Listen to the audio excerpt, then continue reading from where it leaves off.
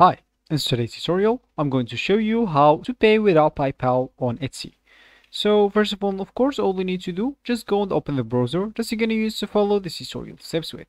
So of course, here in my case, I'm actually using Brave, but of course, in my case, I'm actually Oh, sorry. In my case, I'm actually using Brave, but of course, in your case, you can use any other browser, could be possibly working for you. So once you actually open your browser, just go here to the URL section and type etsy.com and hit the enter button. That will take you into this page. And of course, from here, you'll be able to log in into your account or create your account. If you don't have it at the top right corner options, you will find this right here. And of course, if you don't have an account, you can create one. You can even create it with your Google account, logging in as well. If you don't want to go through all the boring steps of creating your account or logging into your account. Of course, you can do that with Facebook and Apple as well.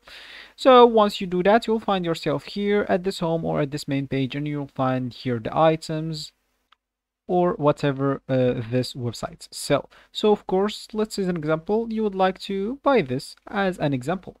So simply, you'll need to go here. If there is like an option, you will need to uh, to select. If it's required, you'll find the star uh, at the red star, as you can see here. And of course, just select the option what uh, what you want. So for me, I don't care. I'm just going to show you how. So of course, when you finish what you want, just go and hit the buy it now option. And uh, okay, they didn't actually take me uh, into buy it now because I need, I guess, to finish those as well. Because yeah, there is a star as well here, so I need to fill it as well. So let me just enter this, this, uh, hello. And now, when I click at buy it now, it should be, yeah, they will take me into this page.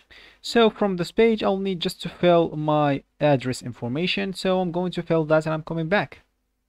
So then just hit the continue button. And as we said, if you don't want to pay with PayPal, simply, as you can see here, we will have the card option and even the pay with Google uh, with Google Pay if you want, and even if you have a code that you want to redeem it. So of course you would like to choose a card, or of course if you want to choose the Google Pay. So as you can see here, you will need to fill your card information, then you'll need to review your order and confirm it or submit it. So this will be actually for this tutorial. I hope you like it. Thank you guys for watching and goodbye.